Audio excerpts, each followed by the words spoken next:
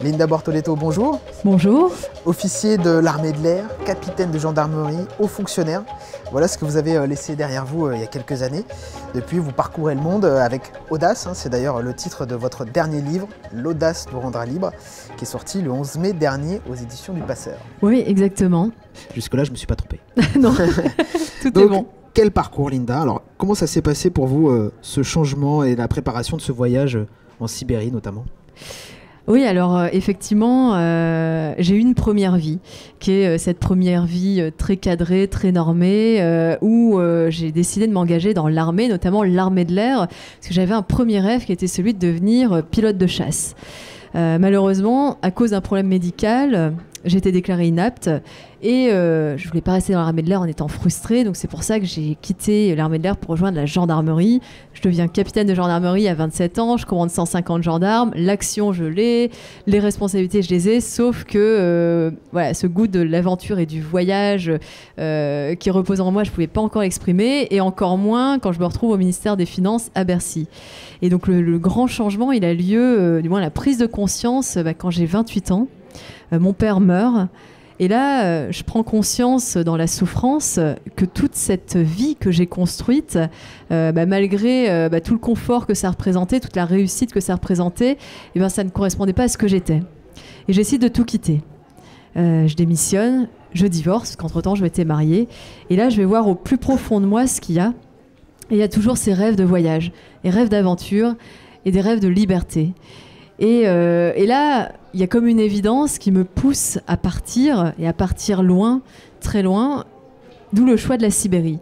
Et notamment l'extrême-orient de la Sibérie, où je décide d'aller au Kamchatka pour vivre avec des nomades éleveurs de rennes, les Tchoukts.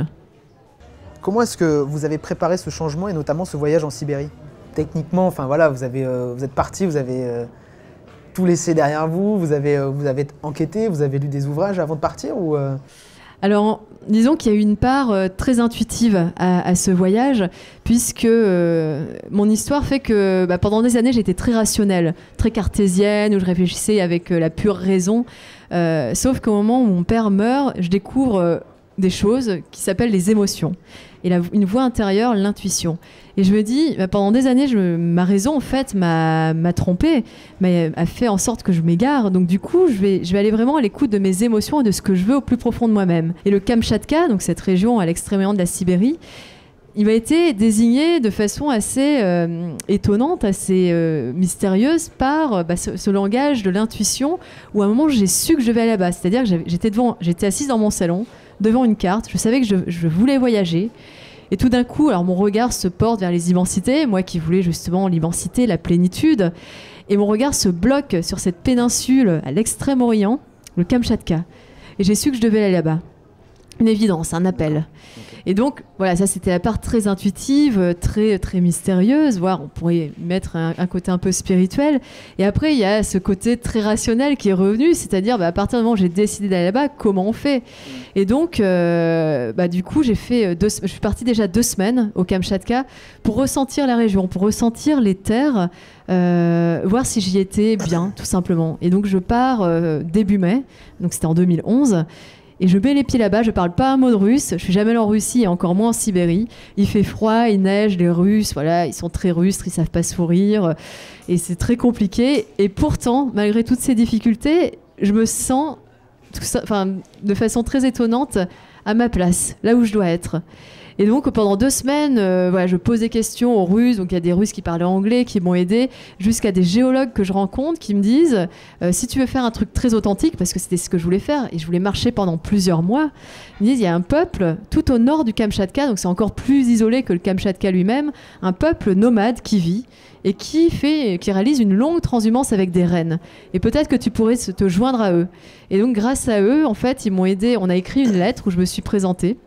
Je dis que j'étais une Française qui voulait juste découvrir leur vie. J'étais pas journaliste, j'étais pas reporter, j'étais simplement quelqu'un qui voulait vivre et découvrir leur culture.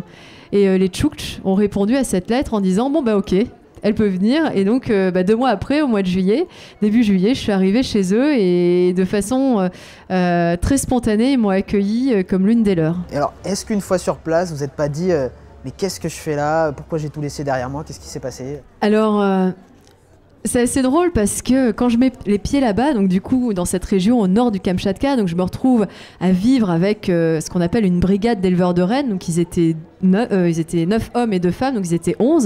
Donc j'étais la douzième.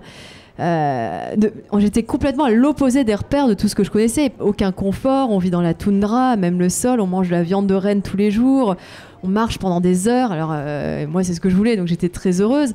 Et donc le problème de la langue aussi, parce que j'avais appris le russe en hâte avant de partir, mais je, je, je baragouinais quelques mots de russe et malgré tout une sorte de bien-être, euh, une évidence que j'étais là où je devais être, comme la première fois où j'ai posé les pieds au Kamchatka. Donc du coup, on se pose pas de questions parce que il n'y a pas de questions qui émergent puisqu'on est on est certain d'être enfin, j'étais certaine d'avoir enfin trouvé ma voie et d'avoir trouvé cette femme que j'étais à l'intérieur de moi-même et que j'avais ignorée pendant des années.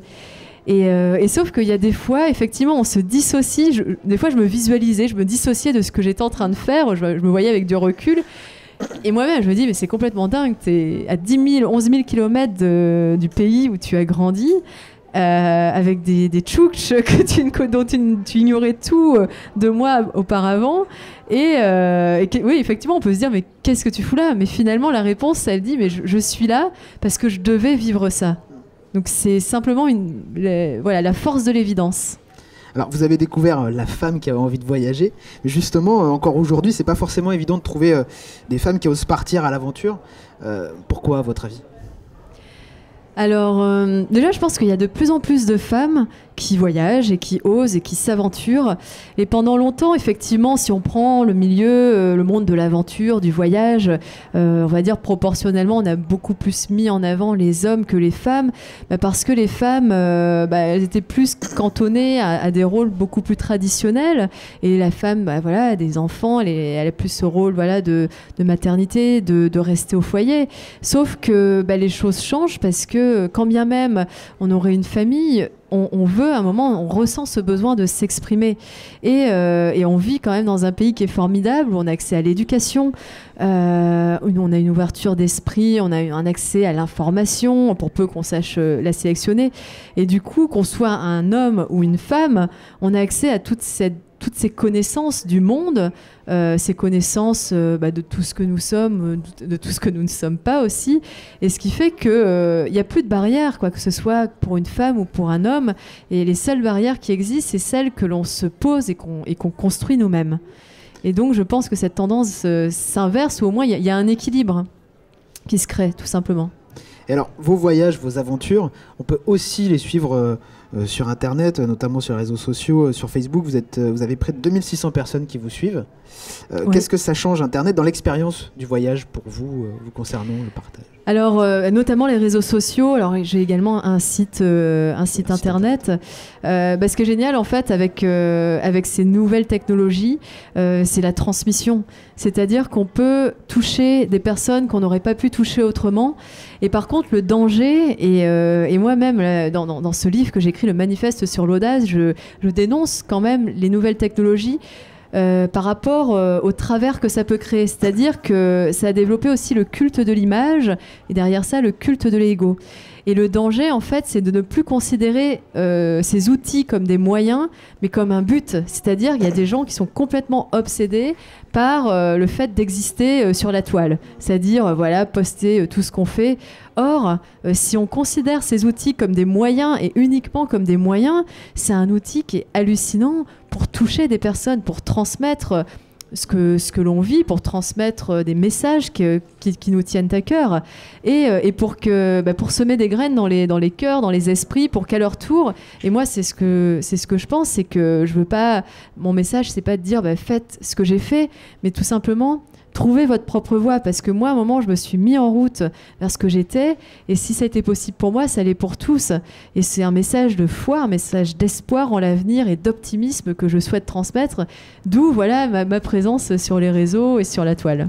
Alors revenons sur le thème de ce salon, à hein, la grande évasion, les chemins de mer. Vous, l'ancien officier de l'armée de l'air, qu'est-ce que vous évoque le voyage en mer?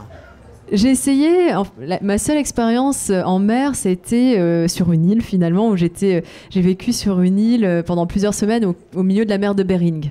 quand même la- une des mers euh, les, plus violentes. Euh, bon, j'ai pas aimé. je me suis dit, si j'avais été sur un bateau, ça aurait été pire.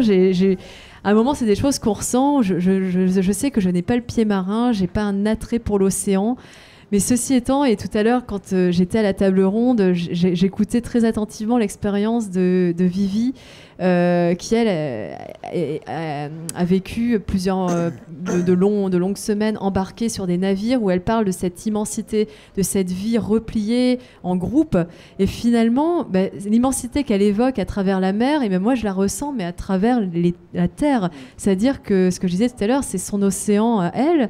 Ben, moi, c'était la toundra, ou quand j'étais dans l'Himalaya. C'est- C'est-à-dire que, quoi qu'il en soit, euh, c'est une immensité.